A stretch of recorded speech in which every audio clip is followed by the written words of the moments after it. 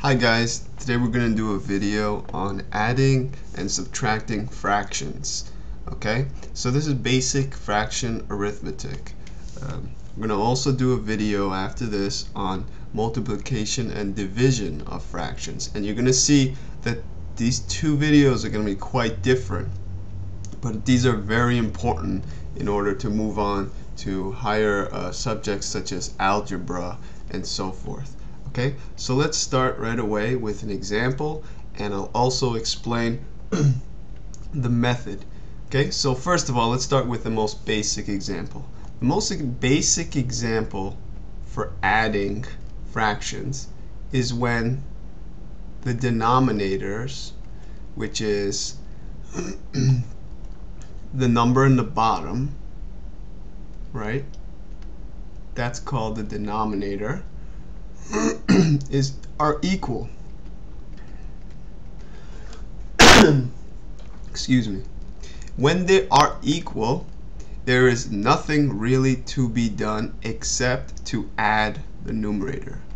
So this equals 1 plus 3 and what you do, the trick is with the addition and subtraction of fractions is that once the denominators are equal, when you actually get to the addition of them, you do not add the denominators. The denominator becomes whatever that denominator is in the two fractions. Okay? So let's do a couple more of these. So we'll call this example 1. Let's do example 2. 7 over 12 plus 3 over 12. Okay? So first thing we notice, the denominators are equal. Okay? So we are ready to do the second step, which is just to add the fraction. So we add 7 plus 3, we add the numerators, and the denominator stays the same. Okay? So that's the answer. Let's do one more like this. So this drives this point home. 8 sevenths plus 6 sevenths. Denominators are equal, so we're ready to go to the second step, which is to just add the fractions. And when we add the fractions, we add the numerators. If the denominators are equal, we can add the numerators and the denominator stays the same.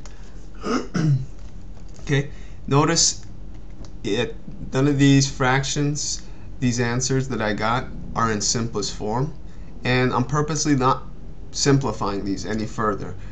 The, that, the point of this video is to learn how to add fractions, not to uh, uh, get them in simplest form. I'll make a video specifically on reducing fractions and another video on changing improper fractions into mixed numbers. But for this sake of this video, we're interested in the concept of adding and subtracting fractions. Okay, so now let's do a couple subtraction. So how about 3 halves minus 1 half? Same idea, if the denominators are equivalent, then we can just go ahead and go to the step two, which is just to subtract the two numerators, and the denominator stays the same. Okay? How about 12 thirteenths minus 5 thirteenths? So the denominators are equal. So the answer is just 7 over 13 because 12 minus 5 is 7 and the 13 does not change. Okay?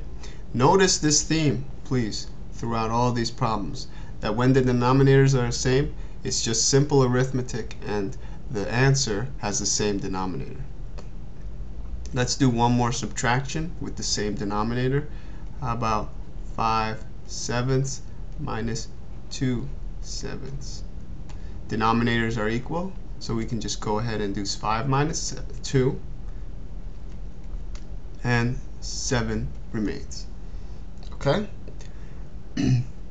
now in the next video, I'm going to show you how to handle a problem such as this. You may be asking, and you may have seen already in your homework, problems where the denominators are not the same. Right?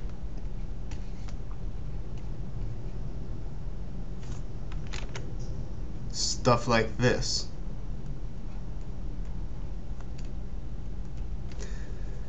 So the thing to notice here is that 3 and 2 are not equal. Right? And over here, 7 and 3 are not equal.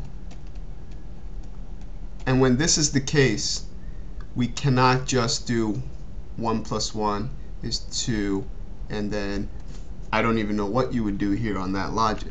The, the, the step that's required first is to get these two denominators to be equal before we can do any addition or in this case subtraction. Okay?